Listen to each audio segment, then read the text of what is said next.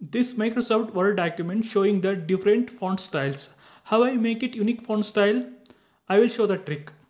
First select the text which is having the different font styles. Now press and hold the control key. Press the space bar. That's it. Now system automatically makes it unique font style.